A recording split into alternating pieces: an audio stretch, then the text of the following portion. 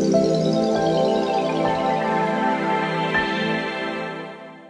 दोस्तों, आप सभी के लिए खुशखबरी है। ना ही आपको अस्पताल जाना पड़ेगा, ना ही सर्जरी के लिए जाना पड़ेगा। अपने घर बैठकर आप बड़े से बड़े बीमारियों का इलाज एक्यूप्रेशर होम आयुर्वेदा एवं एक्सरसाइज से आप कर सकेंगे।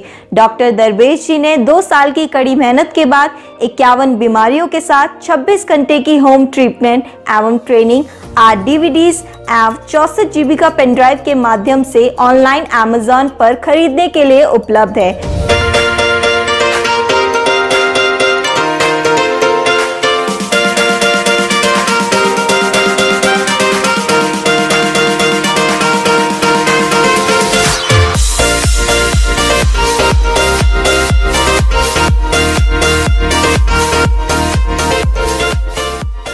My health in my hand English एवं हिंदी किताब इक्यावन तथा 101 बीमारियों के इलाज के साथ ऑनलाइन अमेजोन पे उपलब्ध है। दोस्तों, अब आप बिना दवाई के, बिना अस्पताल जाए, घर बैठे अपना इलाज खुद करिए।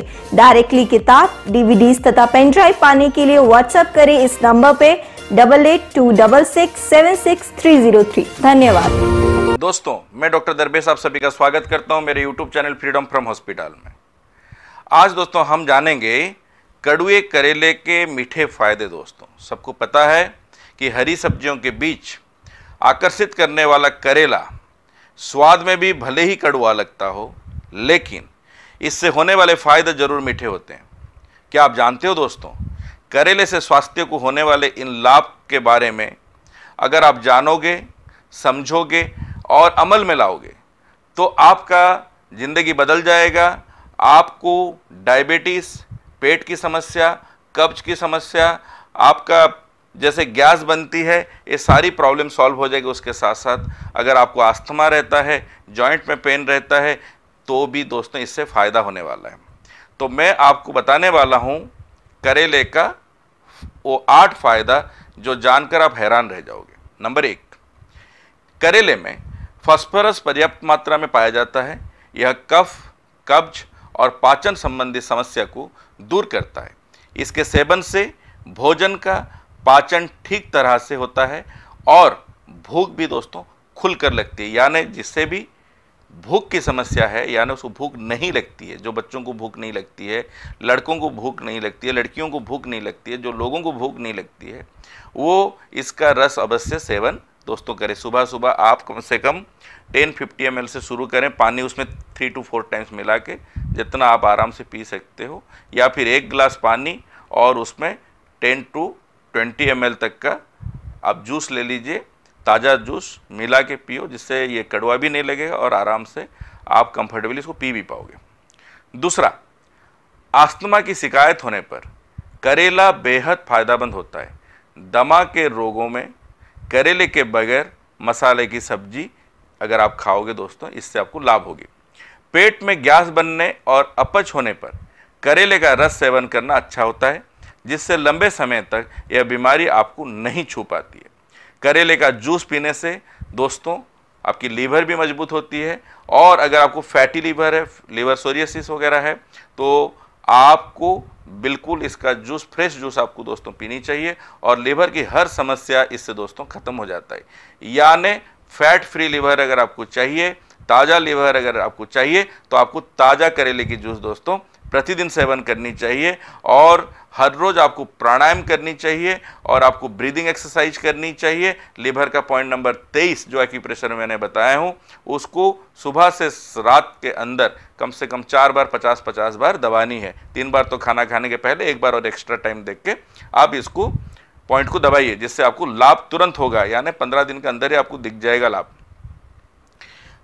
इसके साथ साथ करेले की पत्तियों और फल को पानी में उबालकर इसका अगर सेवन करते हो तो आपके अंदर की रोग प्रतिरोध क्षमता, यानी इम्यूनिटी सिस्टम काफ़ी तेज गति से बढ़ता है।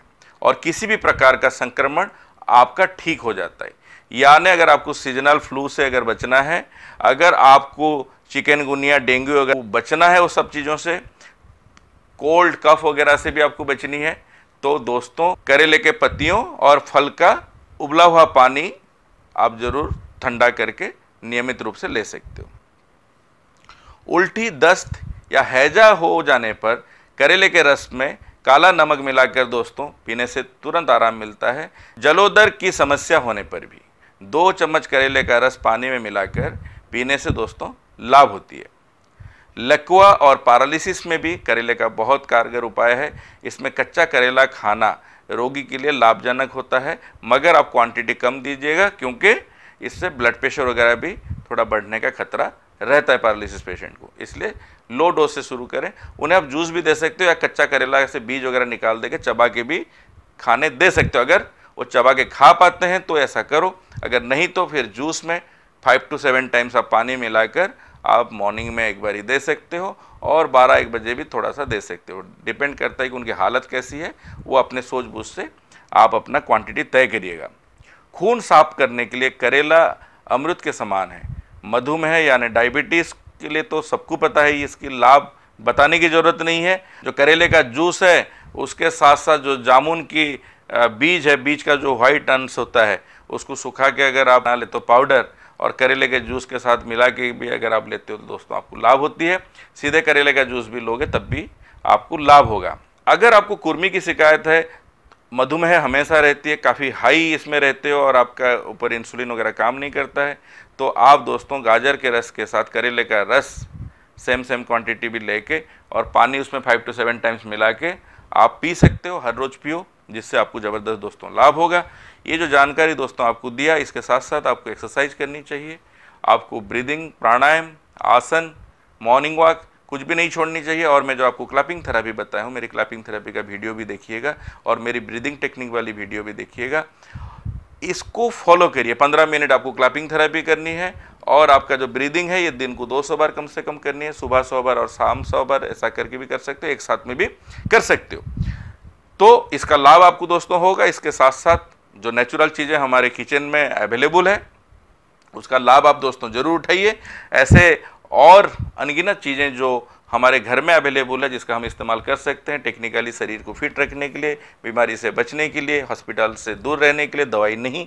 खाना है और अवॉइड करना है, ये सब चीज़ों को अगर आगे लेना है तो दोस्तों हम किचन को पहचानें, हमारे आयुर्वेद को पहचानें, हमारे नेचुरल थेरापीज को पहचानें एक्यूप्रेशर को योगा वगैरह को सबको पहचानो, करो, तभी आपको दोस्तों मिलेगा। इसके साथ साथ आप हमेशा दूसरों के लिए कुछ अच्छा काम करो, जिससे माइंड आपका फ्रेश रहे, आपका आत्मा जो है वो आनंदित रहे, प्रफुल्लित रहे। इसी बात के साथ इस वीडियो को यहीं पे समाप्त करता हूँ। आपका दोस्त, आपका हम सफ़र डॉक्टर तरबेज यहीं पे आपसे विदाई लेता है। थैंक यू वेरी मच जय हिंद। जय भारत।